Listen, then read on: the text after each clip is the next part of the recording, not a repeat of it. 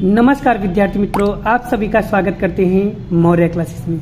विद्यार्थी मित्रों ऑलरेडी हमने क्लास ट्वेल्थ का चैप्टर नंबर वन स्टेट में कॉमर्स विद्यार्थी।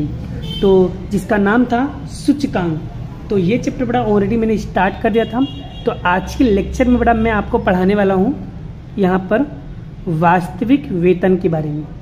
जो बच्चों सेक्शन सी में दो नंबर में पूछा जाता है। ठीक है? तो सभी लोगों को सीखना है। काफ़ी इजी क्वेश्चन है। अच्छे से समझ में आ जाएगा।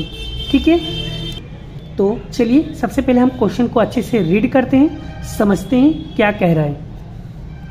एक शहर में मजदूर वर्ग और औसत मासिक वेतन, जीवन निर्वाह का खर्च का सूचकांक, आधार वर्ष 2001 बच्चों, ये 2001 नहीं है 2010 है।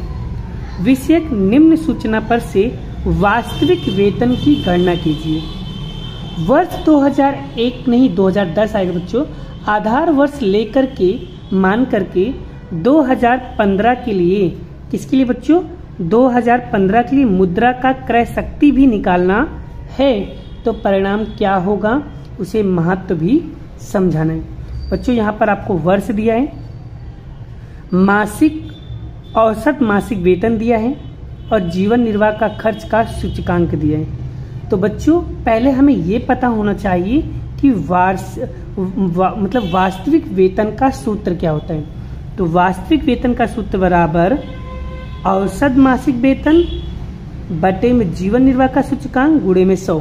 यानी करना कुछ है सूत्र में भी हमको कुछ हार्ड नहीं अब अब औसत मासिक वेतन के बटे में जीवन निर्वाह का सूचकांक लिख करके गुड़े सौ कर देंगे।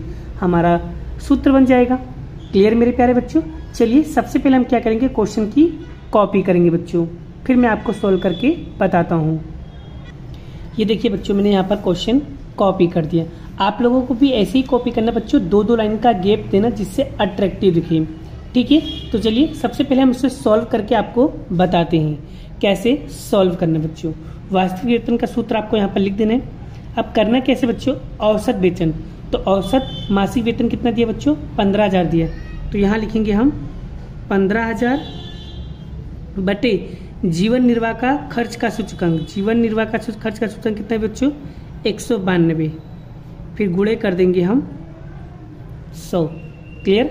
वैसे इसमें भी पंद्रह हज़ार छः सौ तो पंद्रह हज़ार छः सौ बटे दो सौ तीन गुड़े में सौ। वैसे इसको भी लिख दो बच्चों। पहले लिख देते हैं, बाद में हम सोल्व करेंगे। ठीक है? गुड़े में सौ। सारा बच्चों में ऐसे ही लिख देता हूँ। ये देखो बच्चों, सारा मैंने लिख दिया। अब बच्चों एक एक करके हम सॉल्व करते हैं। पंद्रह हज़ार में बच्चों सौ का गुणा करके एक सौ बानबे में भाग देंगे। तो कितना आएगा बच्चों? यहाँ पर आएगा, यहाँ पर आएगा अठहत्तर हज़ार, सात हज़ार आठ सौ बारह पॉइंट पाँच। क्लियर फिर फिर आएगा सात हज़ार छः सौ चौरासी पॉइंट तिहत्तर।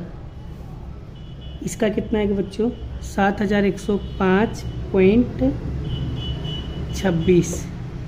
और इसका उत्तर आएगा बच्चों छः हज़ार तीन सौ तिरालीस पॉइंट अट्ठाईस। ठीक है? चलिए, फिर इसके बाद इसका आंसर कितना आएगा बच्चों? अट्ठारह हज़ार गुड़े सौ डिवाइड करेंगे दो सौ सत्तर। कितना आएगा? छः हज़ार छः सौ छाछठ।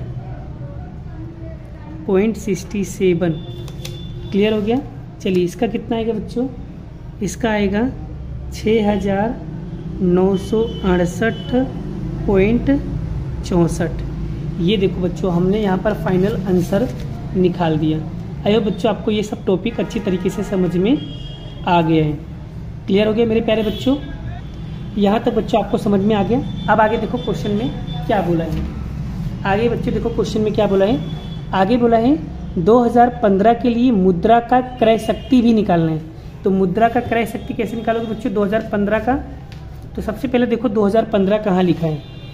तो 2015 कहाँ लिखा है? तो 2015 ये लिखा है। और इसका जीवन निर्वाह का खर्च कितना दिया बच्चों? दो सौ सतासी और कैसे निकालोगे? बच्चों, यहाँ पर देखो मैंने निकाल के रखा हुआ है। 2015 के लिए मुद्रा का क्रय शक्ति क्या है बच्चों? हमेशा जो लिखा है ना बच्चों, दो सौ सतासी तो नीचे लिख देने का दो और ऊपर हमेशा सौ से भाग देने का बच्चों, किससे? हमेशा सौ से। तो सौ बटे दो सौ सतासी करेंगे बच्चों, कितना आएगा? ज़ीरो पॉइंट चौंतीस चौरासी। यानी ज़ीरो पॉइंट पैंतीस इसका फाइनल उत्तर आएगा। क्लियर हो गया बच्चों? आई होप आपको ये सारे टॉपिक आपको अच्छे से समझ में आ रहे हैं। तो मतलब 2015 का क्रय शक्ति वैल्यू आपको कितने बच्चों, इतना मिल रहा है। ठीक है? और यहाँ पर ज़ीरो पॉइंट पैंतीस के अकॉर्डिंग तो यही क्या होगा बच्चों, आपका फाइनल उत्तर होगा। आइए बच्चों, आपने सारा टॉपिक अच्छे तरीके से समझ लिया है और आपके इस तरीके से तीन नंबर आपके पक्के हो गए। आइए बच्चों, अगर आपको ये वीडियो अच्छी लगी तो वीडियो को एक लाइक करना है शेयर करना है। चैनल पे पहली बार तो चैनल को सब्सक्राइब करना है।